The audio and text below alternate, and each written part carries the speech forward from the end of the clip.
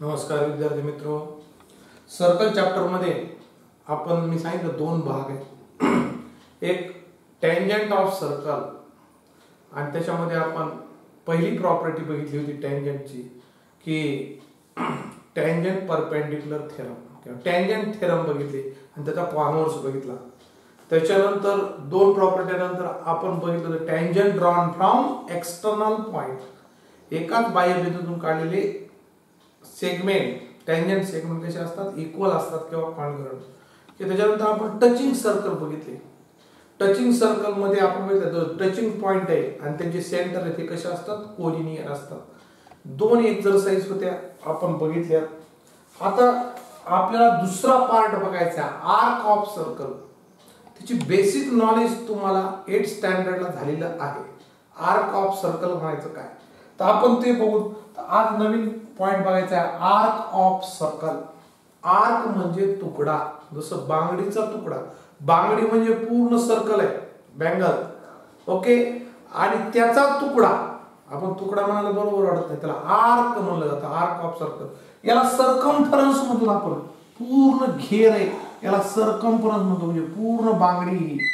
लक्षात घ्या. याला पूर्ण बांगडी आपण म्हणतो. आता याचा तुकडा ए टू बी याला म्हणायचं arc of circle. Arc A B.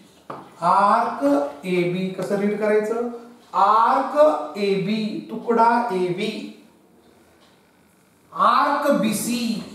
Arc BC arc CD arc AD असं सुद्धा म्हणता येते. आर्क एबीसी मोठा तुकडा झाला तो.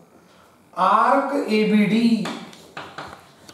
असं सुद्धा म्हणलं जात ए बी डी इथून सुरू झाला मोठा तुकडा. मोठा तुकडा झाला एवढा. बांगडीतला काही भाग तुकडा ए बी डी पर्यंत.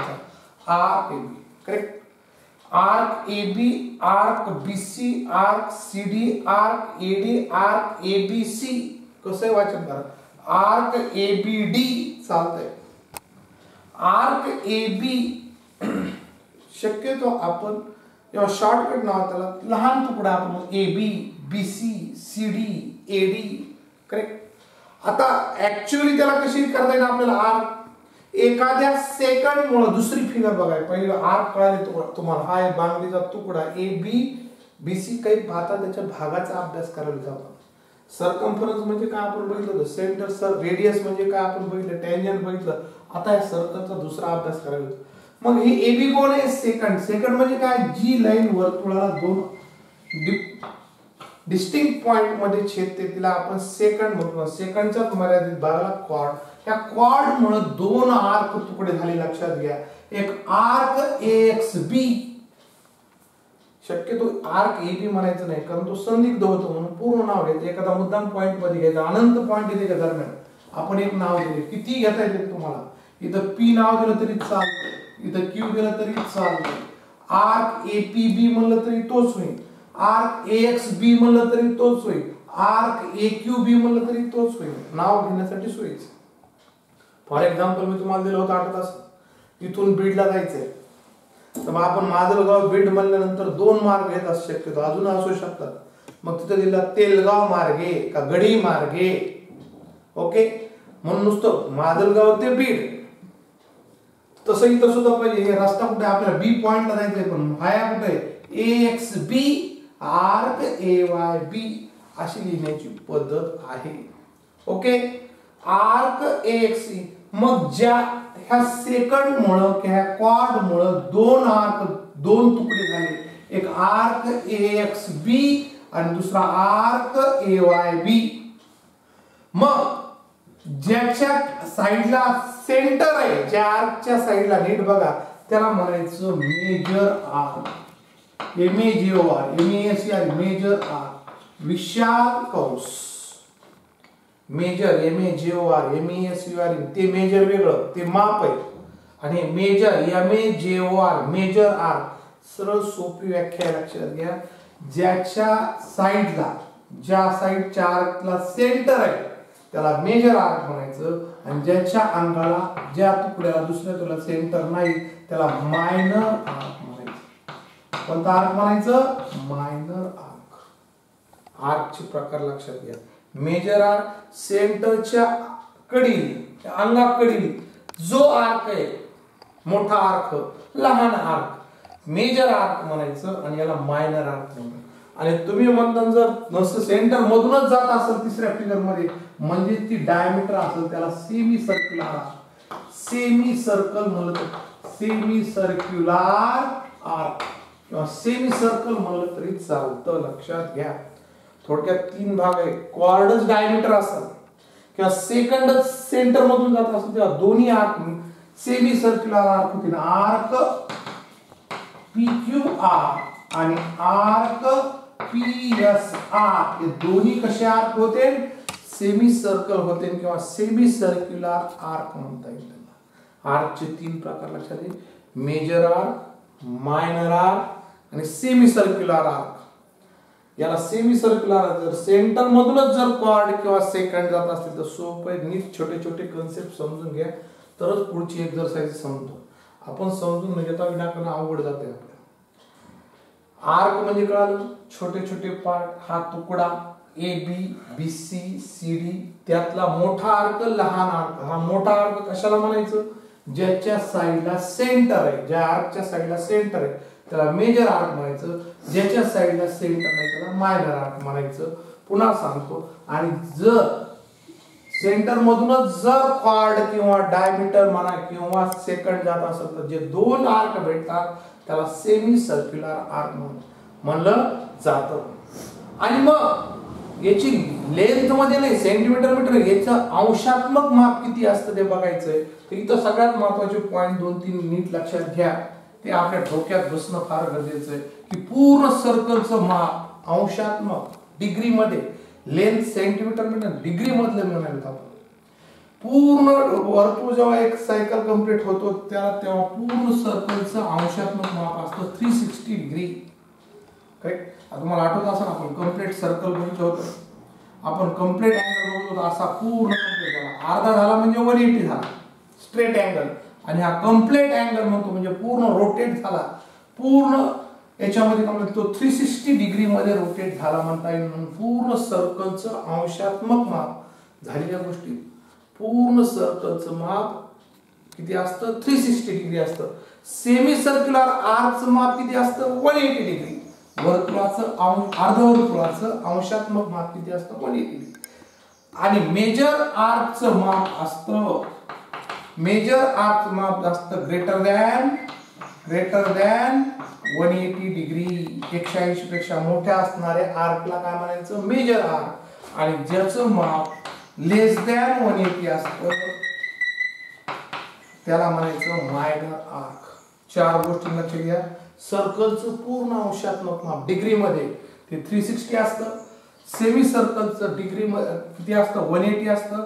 मेजर आर्कचं माप ग्रेटर दॅन वन एटी असतं आणि मायनर आर्कचं माप less than one eighty degree असतंय. छोटे छोटे बाबी नीट डोक्यात ठेवायच्या चार गोष्टी लक्षात आल्या का पुन्हा नीट बघा. पुन्हा एकदा आगे रिपीट करतो मी की थ्री सिक्स्टी डिग्री वर्तुळाचं पूर्ण अंशात्मक माप म्हणायला लेंथ सेंटीमीटर मीटरमध्ये नाही म्हणायला डिग्री मध्ये पूर्ण सर्कलचं माप किती असतं? थ्री सिक्स्टी अर्ध्या वर्तुळाचं आर्कचं माप असतं. वन एटी डिग्री मेजर आर्कचं माप असतं greater than one eighty degree आणि मायनर आर्कचं माप असतं लेस दॅन वन एकशे ऐंशी पेक्षा कमी. मेजर आर्क कशाला म्हणायचं? ज्या आर्कच्या लगत काय असतो सेंटर असतो त्याला मेजर आर्क म्हणायचं. ज्याच्या अंगाला सेंटर नसतो सेकंड मुळ सर्कलच्या सरकमफरन्सचे दोन तुकडे झाले त्यातल्या मोठ्या तुकड्याला तुकडा म्हणायला बरोबर वाटत नाही. बरोबर आहे का? म्हणून त्याला आर्क ऑफ सर्कल म्हणायचं. काय म्हणतात त्याला? आर्क ऑफ सर्कल सेंटर याच्या अंगाला आहे त्याला. मेजर आर्क म्हणायचं. सेंटर याच्या अंगाला त्याला म्हणायचं मायनर आर्क पण ही सेकंड जर सेंटर मधून जात असेल तर ती डायमीटर होईल आणि त्याच्यामुळे हे दोन्ही आर्क समान मापाचे असते आणि ते वन एटी डिग्री असतात. हा ग्रेटर दॅन वन एटी असतो हा लेस दॅन वन एटी अजून शेवटचा एक कन्सेप्ट आहे. ऑलरेडी एट स्टँडर्डमध्ये सगळ्या गोष्टी झालेल्या फक्त रिपीट करायला लक्षात घ्या. आता सेंट्रल अँगल मग कशाला म्हणायचं? की सेंट्रल केंद्रबिंदू पाशी जो अँगल तयार होतो आपण त्याला थिटा म्हणतो. ए ओ बी हे रेडियस आहे त्या दोन्ही लक्षात घ्या. आणि त्याला आपण ए ओ बी त्या अँगलला आपण काय म्हणले सेंट्रल अँगलचं माप आहे. आणि त्याच्याविषयी एक प्रॉपर्टी अभ्यासली होती. सेंट्रल अँगलचं माप आणि त्याच्या संबंधी मायनर आर्ट मी इथे शेडेड केलंय. ह्या मायनर ही मायनर आर्क होईल. कारण ही काय सेकंड त्याच्यामुळे हा मायनर आर्क झाली. याचं माप is equal to major arc M म्हणजे M S U R major arc A Y B हा जर साठ मापाचा असेल तर आर्कचं माप सुद्धा किती असतं? साठ डिग्री असतं. लक्षात घ्या. प्रॉपर्टी सेंट्रल अँगलचं माप आणि त्या संबंधित मायनर आर्क चं माप इक्वल असतं ही प्रॉपर्टी आपण एट स्टँडर्डला बघितली आहे. हे सगळे कन्सेप्ट आपण एट स्टँडर्डला झालेले आहेत. फक्त मी तुम्हाला रिपीट केले आणि त्या गोष्टी नीट लक्षात येतं. पुन्हा एकदा शेवट सांगतो की केंद्रीय कोणाचं माप आणि त्याच्या संबंधित मायनर आर्क मायनर आर्क कशावर समजायचा? ती सेकंड आहे लाईन इयर काय म्हणजे सेकंड आहे. तिच्यामुळे जो मायनर आर्क झाला त्याचं माप संबंधित सिक्स्टी होईल. म्हणजेच ऑलरेडी मेजर आर्कचं माप किती होईल थ्री हंड्रेड होईल काय तर हा थर्टी गेला सिक्स्टी गेला तर उरलेला माप किती असणार आहे? तीनशे. राहिलेला मेजर आर्टचं माप किती असेल? तीनशे असेल. ओके ह्या सगळ्या बेसिक गोष्टी मी रिपीट केल्या. आर्क म्हणजे काय बघितलं आपण? मेजर आर्क कशाला म्हणायचं? मायनर आर्क म्हणायचं. मायनर आर्क कशाला म्हणायचं? सेमी सर्क्युलर आर्क कशाला म्हणायचं? सर्कलचं पूर्ण अंशात माप थ्री सिक्स्टी असतं. अर्ध्या सर्कलचं वन एटी असतं. मेजर आर्कचं माप greater than one eighty degree असतं आणि मायनर आर्कचं माप less than one eighty degree असतं. आणि अजून एक प्रॉपर्टी नीट लक्षात घ्या की सेंट्रल अँगल इन्स्क्राईब्ड अँगल वेगळा. पुढे बघायचा आहे. जमलिंग करू नका. इन्स्क्राईब्ड अँगल वेगळा आणि सेंट्रल अँगल वेगळा. केंद्रबिंदू पाशी जो कोण तयार होतो त्याला सेंट्रल अँगल म्हणायचं. सेंट्रल अँगलचं माप आणि संबंधित मायनर आर्कचं माप कसं असतं? इक्वल असतं. याच्यावरच आधारित एक प्रॉपर्टी आपल्याला थेरम आहे. आपण तो बघूया. खूप सिंपल थेरम आहे. त्याची परीक्षेत प्रूफ सुद्धा विचारली जाणार नाही पण प्रॉपर्टी म्हणून आपल्याला कामाला आहे दोन थेरम आहे कॉनवर्स आहे त्याचा. याच्या अगोदर आपण किती प्रॉपर्टी बघितल्या चार प्रॉपर्टी बघितल्या त्याला प्रॉपर्टी नंबर आपण फाईव्ह नाव देऊ. किती नाव देऊ त्याला? प्रॉपर्टी नंबर फाईव्ह आर्क संबंधी एक्झामच्या दृष्टीने फार महत्वाचं नाही. तुम्हाला इथे ऍक्टिव्हिटी बेस्ड क्वेश्चन दिला तरी पण मी दोन मिनिटात तो घेतो. एक्झामच्या दृष्टीने फार महत्त्वाचा नाही थेरम येतो आपण त्याला प्रॉपर्टी प्रॉपर्टी नंबर फाईव्ह आणि याचा एक कॉन्वर्स सुद्धा आहे. थेरम थेरम त्याचं स्टेटमेंट बघू काय ते. की the chord corresponding the chord chord corresponding corresponding the chord corresponding to congruent R to congruent R congruent R of circle of circle or congruent circle दोन्ही दिले R congruent R congruent मग ते कसे circle असो मग figure काढतो इथं मी. खूप सिंपल खूप आहे. की काय म्हणतो? जर एखाद्या सर्कलचे दोन्ही आग जर कॉन्ग्युरंट असतील तर संबंधित क्वाड सुद्धा कशा असतात? कॉन्ग्युरंट असतात. आपण फिगर काढू त्याची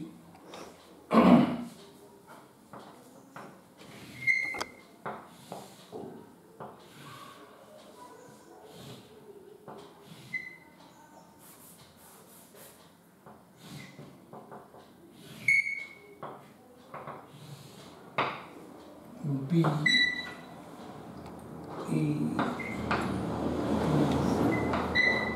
आणि C D Q आणि E आता इथं जर आर्क दोघांचे कॉन्ग्युरंट असतील मी थोडी ड्रॅग करतो arc A C congruent to arc कोण आहे हे जर कॉन्ग्युरंट असतील गिवन काय होईल गिवन ऍक्टिव्हिटी बेस्ड क्वेश्चन आहे given in figure in figure b is the center center of circle and arc arc apc arc apc congruent to arc dqe dqe to prove to prove chord to prove chord AC congruent to chord chord DE Right. आणि मग तुम्ही इथं join A B तिथे activity based question दिलाय तुम्हाला तुम्ही पुस्तक टेक्स्टमध्ये बघू शकता एक्झाममध्ये एखादी प्रूफ म्हणून कधी विचारले गेले नाही. पण आपल्याला काय म्हणायचंय? एका वर्तुळात किंवा एक रूप वर्तुळ असतील जर आर्क कॉन्ड आर्क आणि कॉर्ड वेगळेच लक्षात घ्या.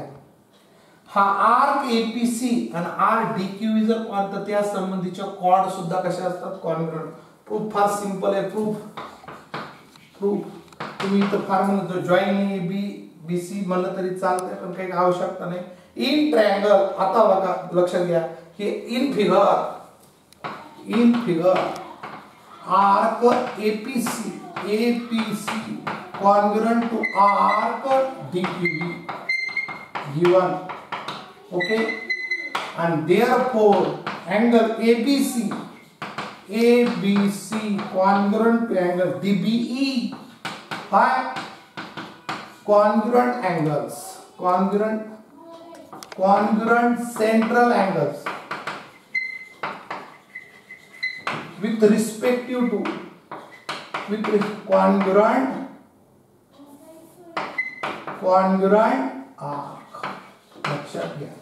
हे सेंट्रल अँगल आपल्याला माहिती हा हा जर चाळीस हा किंवा माप जर सिक्स्टी असेल तर हे सुद्धा किती असणार आहे सिक्स्टी हे नाही सिक्स्टी म्हणजे हा सुद्धा किती होईल सिक्स्टी म्हणजे जेव्हा एखाद्या आर्कचे एखाद्या सर्कलचे दोन आर्क कॉन्ग्रंट संबंधित सेंट्रल अँगल सुद्धा काय असतात? कॉन्ग्रंट असतात.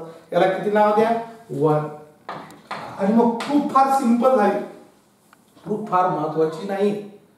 पुन्हा रिपीट करतो प्रूफ फार महत्वाची नाही. आणि तरी तुम्हाला लिहिता आली पाहिजे. फक्त दोन थेरम बघायच्या उलटा बघायचंय आपल्याला पुन्हा. कॉन्व्हर्स बघायचंय. जर कॉर्ड कॉन्ग्युरंट असतील तर त्याचे संबंधित मायनर आर्ट सुद्धा कसे असतात? कॉन्ग्युरंट असतात. एकदा मायनर आर्ट कॉन्ग्युरंट झाले असतील तर त्याचे मेजर आर्ट सुद्धा कॉन्ग्युरंट होतील संबंधित लक्षात घ्या. आता आपण बघायला आर्क कॉन्ग्रंट आहेत म्हणून त्यांच्या क्वाड कॉन्ग्रंट याच्या उलटी प्रूफ करायची आपल्याला. जर क्वाड कॉन्ग्रंट असेल तर आर्क सुद्धा कसे असतात? कॉन्ग्रंट प्रूफ फार सिंपल आहे. आपल्या लक्षात येईल की दोन ट्रायंगल झाले मग. In triangle C in triangle C and in triangle DBE DBE AB equal to AB shortcut मुद्दाम सांगायलो DB radii of same circle एक नाव द्या इथं किंवा radii of same circle radii of same circle angle ABC angle ABC congruent to angle DBCE from one. From one. And say BC BC equal to BC equal to BE area of same circle same circle therefore triangle ABC triangle ABC congruent triangle DBE by SAS test and therefore called AC congruent to DE correct corresponding sides of congruent triangle proof simple आहे. एक्झाममध्ये येणार नाही. तरी पण समजून सांगितलं याचा कॉनवर सुद्धा आपल्याला बघायचा आहे. ओके ही प्रूफ तुमच्या टेक्स्टबुकमध्ये आहे. ऍक्टिव्हिटी तुम्ही ती कंप्लीट करू शकता. फक्त समजावी म्हणून सांगितली. याची प्रॉपर्टी फार महत्वाची. याच्या कॉनवर सुद्धा आपल्याला थोडक्यात उलट होणार आहे. काय होणार आहे कॉनवर दुसरा corresponding arc corresponding arc of congruent chord corresponding of, of, of congruent chord of circle are congruent. The chord corresponding तिथं काय आहे corresponding arc of congruent chord जर chord congruent असतील तर त्याचे आर्क सुद्धा कसे असतात कॉन्ग्रंट असतात हा नंबर दोनचा थेरम आहे अशीच प्रूफ होईल मग कोणत्या टेस्टनुसार दोन ट्रायंगल कॉन्ग्रंट होतील मग येस येस येस करेक्ट आणि एकदा एस झाली की हा उलट दाखवायचं. Angle ABC congruent to DBE होईल.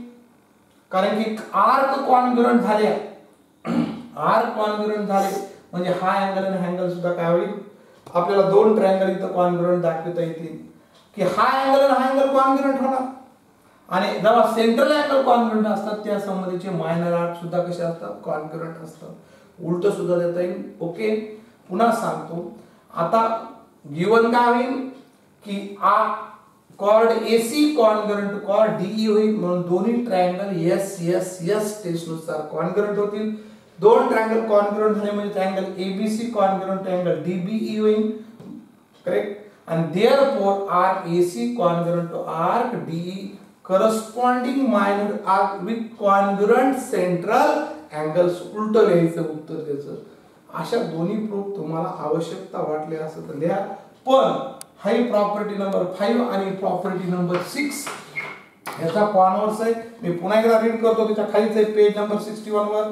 करस्पॉन्डिंग आर ऑफ कॉन्ग्रंट कॉर ऑफ सर्कल आर कॉन्ग्रंट तो त्याचा सिक्स नंबरची प्रॉपर्टी मुद्दाम सांगते पाच आणि six page number sixty one वर आहे. तुम्ही ती कंप्लीट करा. आणि प्रॉपर्टी समजून घ्या. मी पुन्हा मराठी सांगतो जर एखाद्या सर्कलच्या किंवा कॉन्ग्रंट सर्कलच्या कॉर्ड कॉन्ग्रंट असतील तर संबंधित आर्क कॉन्ग्रंट असतील. च्या उलट जर आर्क कॉन्ग्रंट असतील तर त्यांच्या कॉर्ड काय असतात? कॉन्ग्रंट असतात. ही प्रॉपर्टी महत्वाची याच्यावर आपल्याला एक्झाम्पल बघायचे एवढीच प्रॉपर्टी याच्यावर एक्झाम्पल आणि याच्यावर एक एक्झरसाइज आहे. जसं थ्री ओके तर ते आपण एक्झरसाइज बघू आपण एक्सरसाइज बघूया. Practice set three point three फार सिंपल आहे. बघा तीनच एक्झाम्पल आहे तुमच्या लक्षात येईल. In figure point G D F are concyclic points on circle with centre C concyclic म्हणजेच जे बिंदू सर जे बिंदू कुठं असतात? सर्कलवर असतात त्याला कॉन्सायक्लिक पॉइंट्स म्हणायचे. लक्षात घ्या. कॉन्सायक्लिक पॉइंट्स म्हणजे ते सर्कलवर आहेत. कोणते? D E F G are concyclic points of circle with centre C angle ECF ECF हा अँगल सेंट्रल अँगल आहे. सेव्हन्टी डिग्री दिला आहे. आणि major arc major arc DGF हा कसा? टू ट्वेंटी म्हणजे हा मेजर आर्क आहे. हे मेजर म्हणजे माप आणि एम ए जे आर मेजर म्हणजे विशाल कंस. करेक्ट लघु कंस विशाल कंस असा अर्थ लक्षात घ्या. दोन मेजर शब्द आले की टू ट्वेंटी म्हणजे greater than one eighty fine major arc DE डीईचं माप एक विचारलंय. तुम्हाला कोणाचं विचारलंय? डीई मेजर आर्क काय विचारलं? मेजर आर्क डीई हा एक विचारलाय. दोन मार्काचा क्वेश्चन आहे. आणि मेजर आर्क डीईएफ डीईएफ दोन विचारले डी एवढा तुकडा एक विचारलाय आणि दुसरा विचारलाय डी एफ हा पूर्ण. अगोदर तोंडी उत्तर बघूत आपण. हा सेवन्टी म्हणजे हा सुद्धा किती होईल? सेवन्टी होईल करेक्ट आणि त्याच्यावरून तुम्हाला डीई काढता येईल कारण हा सेवन्टी कशामुळे झाला? सेंट्रल अँगलचं आपण संबंधित करस्पॉन्डिंग मायनर आर्क आहे हा लक्षात घ्या. प्रत्येक वेळ तुम्हाला इथं कॉर्ड दिसत असं नाही. ह्या मायनर आर्कचं आणि ह्या सेंट्रल अँगलचं मार्क कसं सेवन्टी होईल? हा टू सेवन्टी दिलाय. आणि मग थ्री सिक्स्टी मधून त्या दोघांची बेरीज टू सेवन्टी आणि टू ट्वेंटी नाईन जर सबट्रॅक्ट केली हा दोनशे वीस हा तुकडा दोनशे वीसचा झाला. आणि हा सेवन्टीचा आहे. ह्या दोन्ही मिळून किती झाले? टू ट्वे नाईन्टी होईल. आणि ते जर सबट्रॅक्ट केलं नऊ इले सेवन राहतील. आणि हे झिरो सत्तर डिग्री आणि हा सुद्धा किती होईल मग? सेवन्टी डिग्री होईल. लक्षात करेक्ट आणि मग तुम्हाला डीईचं माप माहीत झालं सेव्हन्टी डिग्री पुन्हा सांगतो दोनशे नव्वद आपण वजा केले. सत्तरच होईल हा सुद्धा सेव्हन्टी होईल. ओके आणि मग पूर्ण दोन आर्क तुकडे एकत्र जोडले. बेरीज केली त्याची बेरीज करता येते addition arc DE plus arc E F seventy plus seventy किती होईल? वन फोर्टी होईल. मग त्याचा आन्सर द्यायला आपल्याला हरकत नाही. आन्सर लिहू in figure in figure C the centre of C is the centre of circle. Major arc major arc पहले घेऊ. Major arc EF is equal to major angle ECF ECF equal to 70 degree कौन सा लिया corresponding corresponding minor arc. Minor arc with respective to short it as with respective to central angle central angle केंद्रीय कोणाचं माप आणि संबंधित minor आर्कचं माप कसं असतं इक्वल असतं म्हणून therefore major arc E F equal to किती झालं सेवन्टी डिग्री पण आपल्याला एफ नाही विचारलं. आपल्याला कोणतं विचारलं डी विचारले नाव major arc D equal to now major arc D equal to दोन्हीचे ऍडिशन करावं लागणार आपल्याला एफ काय करावं direct major arc D equal to three sixty degree minus major arc कोणता? दिलाय तुम्हाला? D G F D G F D G F minus three sixty minus 360 minus in bracket major arc major R DGF DGF plus major arc कोणता होईल major arc EF correct पुन्हा एकदा repeat करतो मला D माप काढायचंय. त्यासाठी काय करावं लागेल? पूर्ण वर्तुळाच्या मापातून हा आर्क आणि या बेरीज सबट्रॅक्ट करावं लागेल. म्हणजे three sixty minus in bracket two twenty plus seventy म्हणजे three sixty minus two ninety equal to किती होईल seventy degree major arc D ही पहिल्या प्रश्नाचं उत्तर झालं तुमच्या लक्षात घ्या. आता क्वेश्चन नंबर टू विचारलाय खूप सिंपल आहे. डीईचं माप किती झालं? सेव्हन्टी आता डीई एफ e, विचारलाय. दुसरा. मेजर आर याचं ऍडिशन कसं करायचं लक्षात घ्या. मेजर आर्क डीई एफ दोन्ही तुकडे ऍड करा. DE F is equal to major arc DE आताच काढले plus major arc F major arc F equal to काय होईल? Seventy plus seventy equal to one forty degree. Major arc DE equal to one forty degree. व्यवस्थित answer लिहा reason लिहा. थोडक्यात आर्कच्या किंवा त्या तुकड्यांची बेरीज कशी करता येईल सबट्रॅक्शन कसं करता येईल हे आपल्या लक्षात येणं गरजेचं दोनच विचारले तुम्हाला ट्वेंटी अरे टू हंड्रेड होतं ना? सॉरी सॉरी सॉरी डीजीएफचं माप टू ट्वेंटी घेतलंय मी चुकून हरकत नाही. थोडा आपण बदल करू. टू टू हंड्रेड आहे इथं. थोडा चेंज करतो. टू हंड्रेड आहे इथं. तसं असलं तरी काही हरकत नाही. आता राहू द्या पण एक टू हंड्रेड टू सेवन्टी झालं हे. टू सेवन्टी आणि मग सबट्रॅक्शन केल्यानंतर किती होईल बघा नाईन्टी डिग्री होईल. ओके? तीनशे साठ मग दोनशे तर नाईन्टी होते. आणि मग नाईन डीई किती होईल? डीई डीई नाईन्टी झाला. नाईन्टी प्लस सेवन्टी नव्वद. वन सिक्स्टी होईल लक्षात वन सिक्स्टी थोडा बदल होता. इथं दोनशे होतं आणि दोनशे वीस घेतलं होतं. पण दोनशे वीस घेतलं तरी उत्तर पद्धत लक्षात घ्या.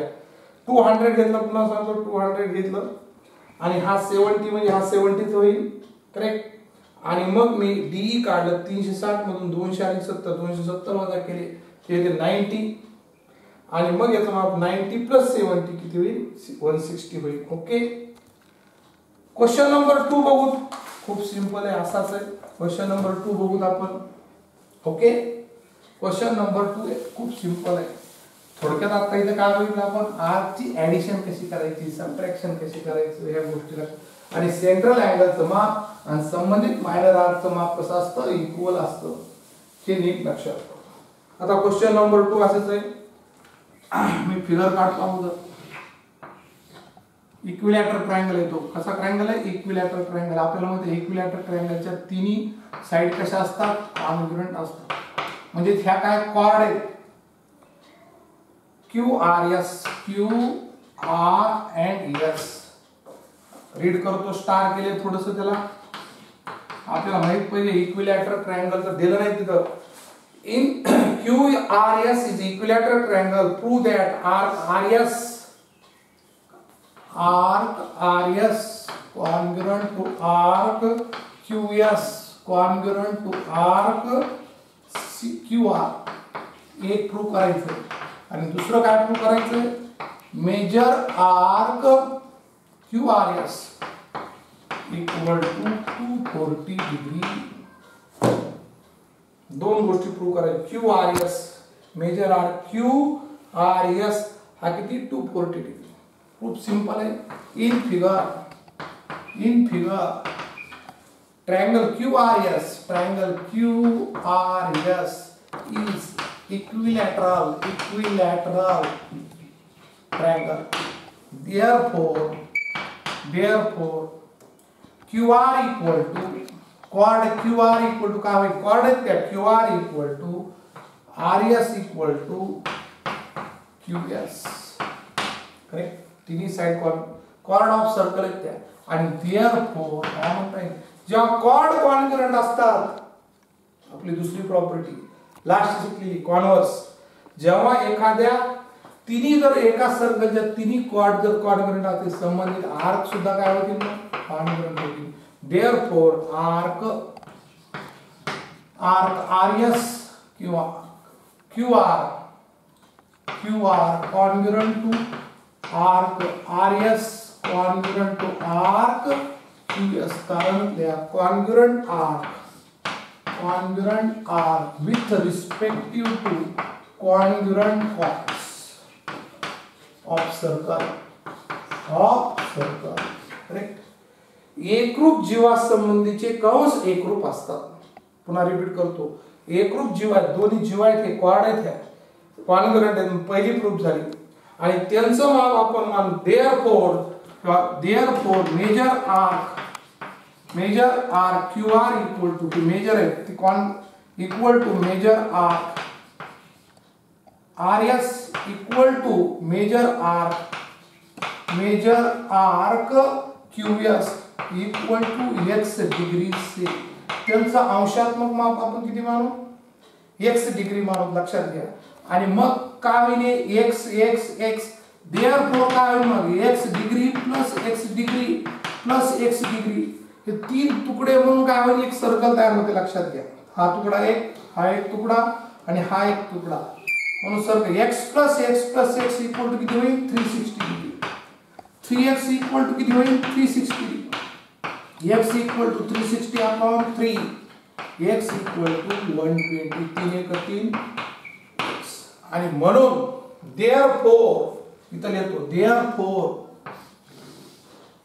therefore major arc major R Q R equal to major arc major arc R S major arc Q S equal to one twenty degree तिन्ही आर्क एकशे वीस एकशे वीस एकशे वीस होते. आणि मग तुम्हाला विचारलं major arc Q R S दोनशे चाळीस असत. Q R S Q R किती झाला? वन ट्वेंटी झाला. आणि आर एस किती झाला? One twenty one twenty plus one twenty नाव शेवटचं इतर येतो नाव. Major arc. कोणता विचारलाय तुम्हाला? क्यू आर एस दोन्हीची ऍडिशन करा. Equal to major arc Q R plus major arc R S equal to 120 plus 120 the major are QRS and, and therefore major arc QRS equal to 240 degree. हे। दुसरी proof आहे खूप general proof आहेत त्या दोन्ही विचारल्या होत्या त्या आपण त्या कंप्लीट केलेल्या आहेत कळालं ओके तो इक्विलॅटर ट्रायंगल आहे लक्षात घ्या सिक्स्टी हा सिक्स्टीन हा सिक्स्टी होतो पण तो सेंट्रल अँगल नाही बरेच जण डोक्यामध्ये सर हा सिक्स्टी होतोय आणि म्हणून हा आर एस सिक्स्टी होणार नाही. सेंट्रल अँगलचं माप आणि संबंधित करस्पॉन्डिंग अँगलचं माप सेम असतं. हा सेंट्रल अँगल नाही लक्षात घ्या. तुम्हाला माहिती आहे सिक्स्टी सिक्स्टी बरेच जण त्याच्यामुळे चुकायची शक्यता असतात. आणि त्याच्यावर तुम्ही माप काढायची शक्यता ते रॉंग होईल. अजून एक क्वेश्चन राहिला तोही खूप सिंपल आहे. अतिशय सिंपल क्वेश्चन आहे. तिन्ही खूप जनरल क्वेश्चन आहेत. आणि मग ही एक्झरसाईज संपत्तीने अजून एक एक्झरसाईज राहील ती मात्र खूप महत्वाची मोठी एक्झरसाईज आहे. त्याच्यात थेरम दोन खूप महत्त्वाचे आहेत. एक्झामला विचारले जातात असे थेरम आहेत.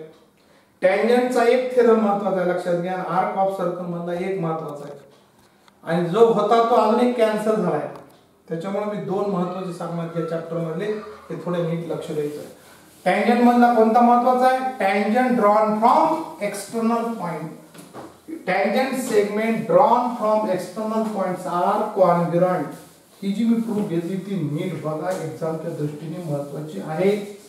लास्ट एक क्वेश्चन बघू तोही खूप सिंपल आहे फिगर काढतो मी. क्वेश्चन नंबर थ्री तिन्ही क्वेश्चन खूप सिंपल आहेत. एक्झाममध्ये विचारले जाऊ शकतात.